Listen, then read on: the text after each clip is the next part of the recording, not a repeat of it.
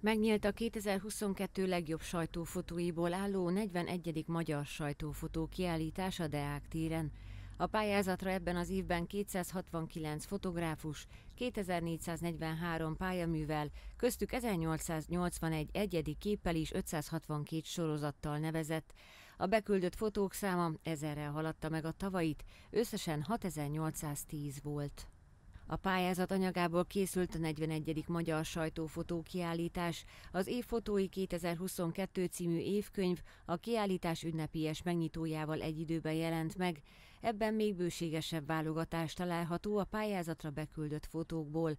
A tárlaton a képek, a hír és eseményfotó, képriport, mindennapi élet, emberábrázolás, portré, művészet, sport, természet és tudomány, társadalomtudomány és dokumentarista fotográfia kategóriájában mutat mutatkoznak be.